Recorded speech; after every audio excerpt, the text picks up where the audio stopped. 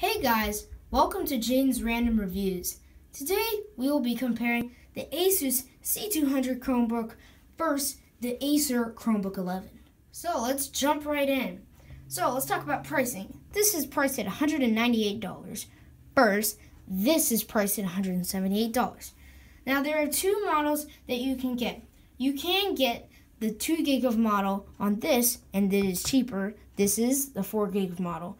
You can there's no other expansion, like you cannot get 4 gigs on this computer, sadly.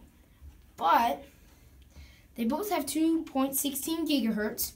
They both are 11.6 inch screens, and they this is 2.5 pounds and this is 2.4 pounds.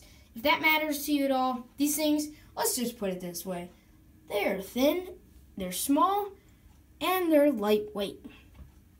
So they both have Intel inside, which runs really well on these computers. And the pixels are just about the same.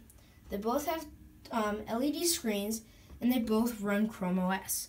So in my last couple videos, I explained to you everything you need to know about a Chromebook and Chrome OS, and the features that Chromebook do. So that is the simple specs of both computers.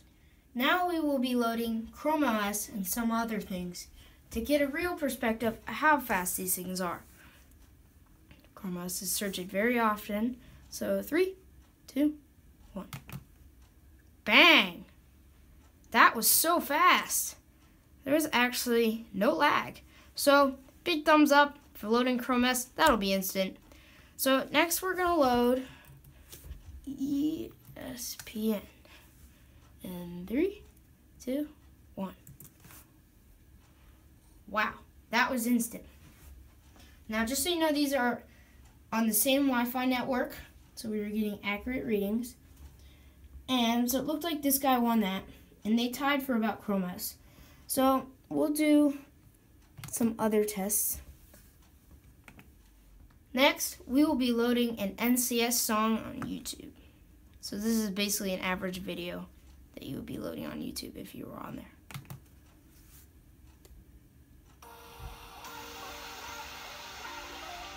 So as we can see, this did win. I mean, this one did win because this had a little bit of lag. Let's just put it out this perspective how loud these things are.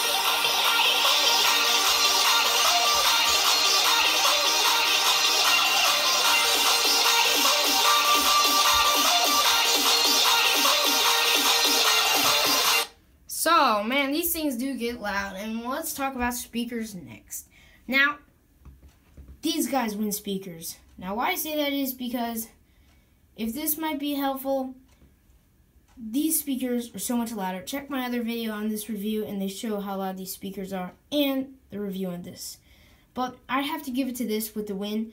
These things blast. When I first opened this up, I was so impressed on how loud these speakers get. It's just incredible. So, as I've done a couple tests with loading websites and other things, these things are extremely fast and you'll have no doubt with lag. But as I said in my other videos, you have to have Wi-Fi to get good speed. So if Wi-Fi is a key factor that you don't have, Chromebooks are not good for you. But if you have good Wi-Fi, these are what you want and they do a great job. The cheap computers or inexpensive computers they do a great job when you're in the house and you're doing simple work, for example, typing papers on Google Docs or just searching information on Chrome OS. So definitely give a thumbs up to both these computers. Now, it's hard to tell which one will become a winner. In a sense, they both do about the same job. I know this does have two more gigs of RAM, and that could be a key factor for you. But going over tests, and as I've used these for a long time, they both run fine. They both run well. But I've noticed that occasionally this does have a little more lag than this computer. And I've noticed that this computer is faster. So if I were to pick a winner, slight edge, very close, probably the Asus C200 Chromebook. But if you want to save some money, go with this guy. It'll give you great speed. It's not a big difference. It's not like you're losing a big key part in a computer. They're both the same. The only difference is this guy's got 2 gigs of RAM. I mean, this one has 4 gigs of RAM, and this has 2 gigs of RAM. So if that matters to you, it's all up to you.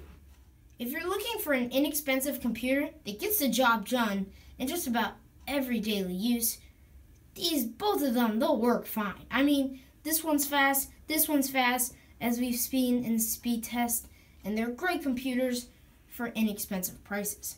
So if you like this video, please give it a thumbs up and please subscribe because there'll be many videos to come in the future. Always, thanks for watching.